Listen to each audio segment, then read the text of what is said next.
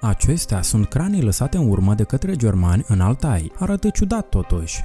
Iar acesta este un incredibil bombardier Douglas 20, care a fost recuperat de pe fundul mării. Prieteni, există artefacte incredibile din al doilea război mondial, împrăștiate în întreaga lume, care sunt găsite și astăzi. Îți vom arăta cele mai misterioase și neobișnuite dintre ele, iar la final vom vorbi despre Hitler, care ar fi trăit liniștit în Argentina după război. Și voi începe cu banii cei mari. Așa că așezați-vă cât mai comod, pregătiți-vă o limonadă, stoarceți butonașul de like și să începem!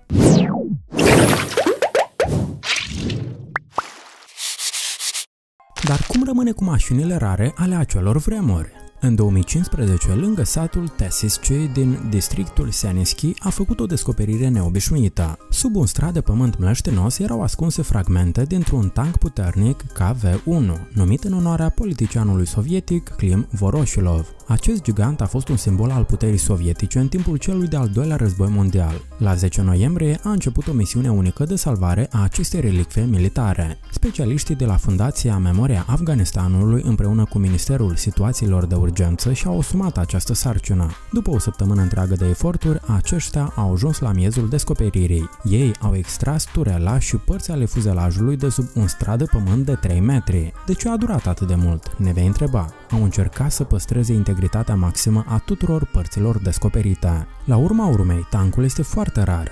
Aceste fragmente au fost transportate cu grijă în regiunea Minskului, la linia Stalin, un complex istoric și cultural. Acolo aceste părți ale vehiculului de război urmau să fie restaurate și prezentate publicului ca o amintire vie a trecutului. Această operațiune nu numai că a salvat o parte de istorie de la uitare, dar a oferit de asemenea oamenilor șansa de a privi unul dintre cele mai rare exemple de arme care au contribuit cândva la Marea Victorie și unde, fără legendarul tank, în satul ucrainean Dolgenkoe a avut loc o descoperire uimitoare. Au fost descoperite rămășițele legendarului tank T-34, unul dintre cele trei modele unice produse la începutul Marelui Război pentru apărarea patriei. Trebuie să spun că căutarea acestei rarietăți nu a fost ușoară. Echipa de arheologi militari a pipăit literalmente fiecare colț al zonei din jurul satului și chiar a intrat în conflict cu săpătorii negri care vând astfel de relicve pentru fier vechi. Dar indiciul cheie a fost dat de locuitorii din zonă care își aminteau de vremurile de demult. Aceștia au spus că în 1942, în timpul unor lupte crâncene, echipajul a fost nevoit să arunce în aer tancul, care în cele din urmă a ajuns pe fundul mlaștinii. Cu ajutorul echipamentelor de înaltă tehnologie capabile să simte metalul la adâncimi considerabile, arheologii au reușit să găsească fragmente din acest vehicul de luptă. Primele părți ale T-34 au fost extrase din noroi al mlaștinii în urmă cu mai bine de 2 ani, iar blindajul său puternic și turela sa impresionantă abia prin toamna anului 2010. Dar în cele din urmă, această descoperire a ajuns în muzeu. În îndepărtatul 1939, o navă germană care a părăsit țărmurile Braziliei și se îndrepta spre Germania nazistă printre valurile turbulente ale Atlanticului a naufragiat ce se afla pe ea. Acest SS Maiden era plin de lingouri de aur, dar din păcate călătoria sa a fost sortită eșecului. S-a ciocnit cu forțele navale britanice în largul țărmurilor înghețate ale Islandei. Legendele spun că Hitler însuși i-a ordonat capitanului să trimită nava la fund, astfel încât bogățiile să nu ajungă la inamic. Timp de mai mulți ani, aceste comori au fost considerate iremediabil pierdute, împachetate pe fundul mării în îmbrățișarea rece a apelor. Dar în 2017, o echipă de aventurieri britanici au descoperit o locație secretă a SS Maiden. Persistența și curiozitatea lor au fost răsplătite atunci când au descoperit o cutie uriașă plină cu lingouri de aur. Această comoară, care cântărea 4 tone și valora peste 100 de milioane de dolari, a fost dovada că și cele mai incredibile povești au un loc în viața reală. Ah, ne-am dorit noi să putem găsi așa ceva în lacul local. Și vrei un pic de misticism? Anenerbe, poate cea mai întunecată organizație din cadrul SS, studia ocultismul și paranormalul. În sfera lor de interes se aflau ministerele antice și mineralele radioactive din Caucaz. Se pare că germanii ar fi căutat nu doar cunoștințe străvechi, ci și aurul din Rada Cuban, pierdut în timpul războiului civil din Rusia. Operațiunea Edelweiss este un fapt istoric bine cunoscut, dar misiunile secrete din Adieja sunt încă învăluite în misticism. Având în vedere amploarea expedițiilor și experimentelor lor, germanii căutau probabil ceva foarte important, care ar fi putut schimba cursul războiului. Ahnenerbe era interesată de apa vie din Abhazia, apă ale cărei proprietăți erau ideale pentru crearea plasmei sanguine. Au existat chiar și planuri de a construi tuneluri subacvatice pentru a transporta această apă în Germania, dar planurile au fost zădărnicite de război.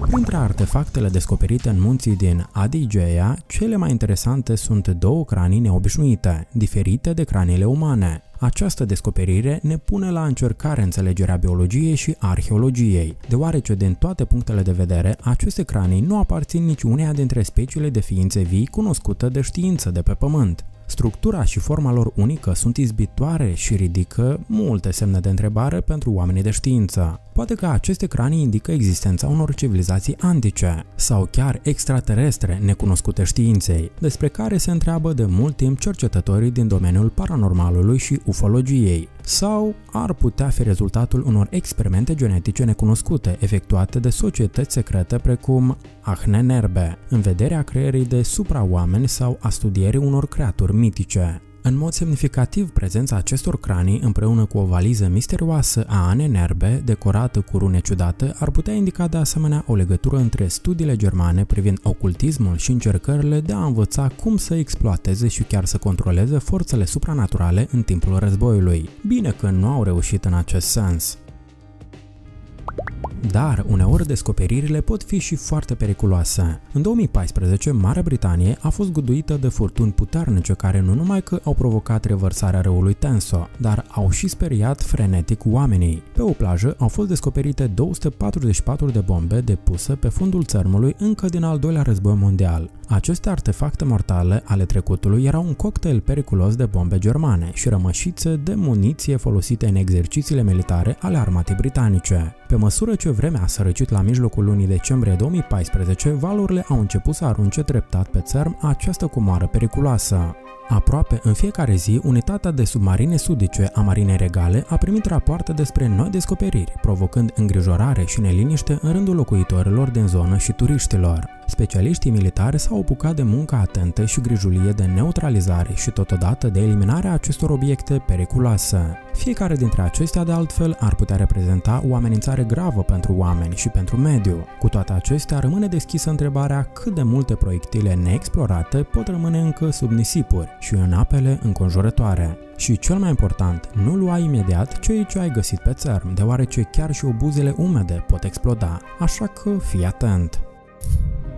Muzeul Aviației din Cracovia, Polonia, a găzduit recent un eveniment demn de menționat în paginile istoriei moderne. A fost recuperată epava celebrului bombardier american Douglas A-20, care s-a parcat pe fundul Mării Baltice în timpul celui de-al doilea război mondial. Această aeronavă, care este un exemplu rar de aviație militară din acei ani, a devenit o completare neprețuită a colecției muzeului. Totuși există doar 12 astfel de avioane păstrate pe întreaga planetă. Da, într-adevăr, o descoperire rară. Operațiunea de recuperare a aeronavei din adâncurile mării a fost extrem de complexă și a necesitat din partea organizatorilor și a participanților un înalt profesionalism și o coordonare precisă a acțiunilor. Nu a fost vorba doar de ridicarea unui metal, ci de restaurarea unei părți din istorie, de readucerea din uitare a unui erou al anilor de război trecuți, a unui martor al bătăliilor și al călătoriilor îndepărtate. Fiecare fragment al acestui avion își spune propria poveste unică, iar restaurarea sa și expunerea ulterioară în muzeu vor permite vizitatorilor să atingă epoca celui de-al doilea război mondial, să cunoască tragedia și eroismul acelor vremuri.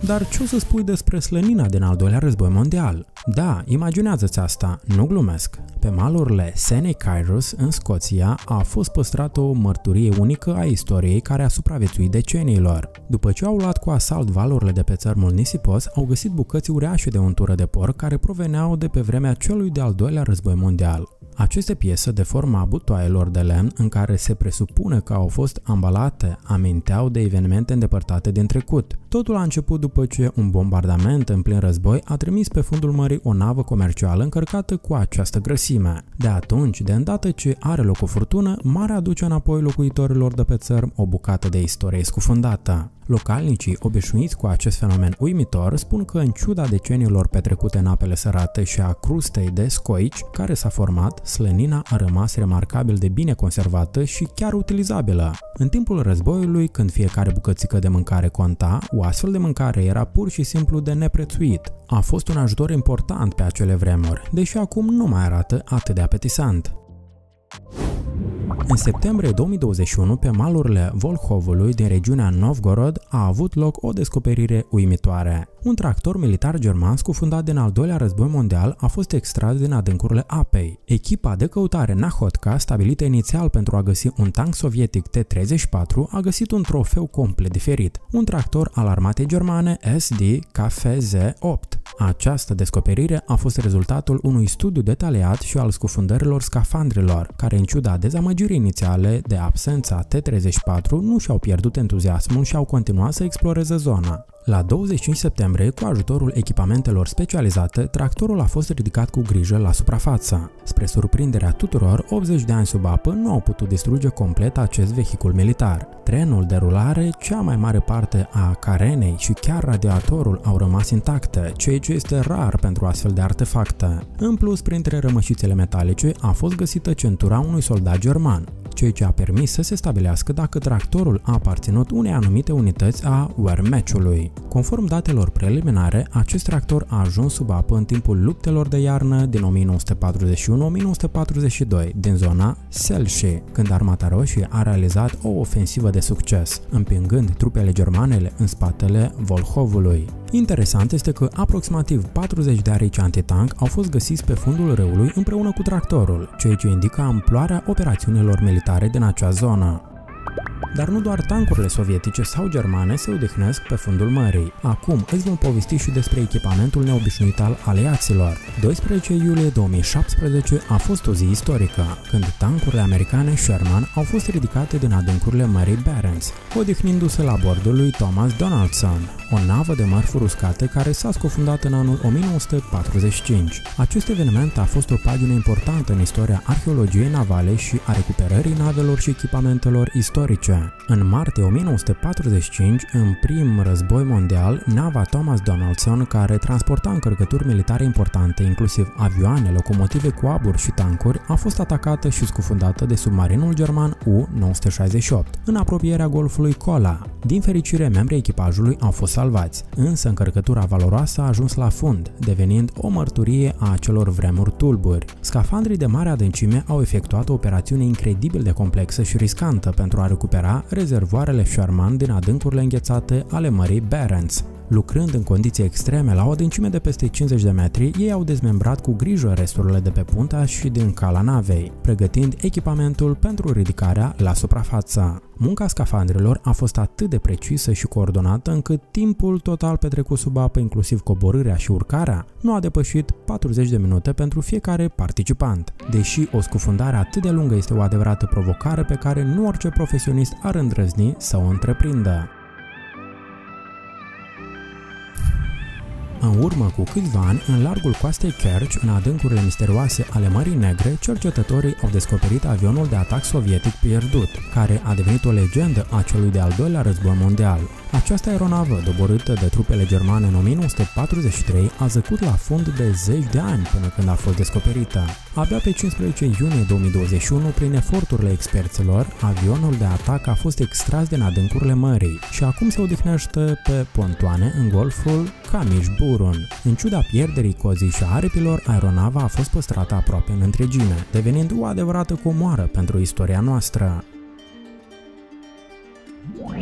Ei bine, cu descoperirile am rezolvat, dar cum rămâne cu Hitler, care a fost văzut de mai multe ori în Argentina? Avem ceva să vă spunem. Controversele legate de moartea lui Adolf Hitler nu s-au potolit de mai multe decenii.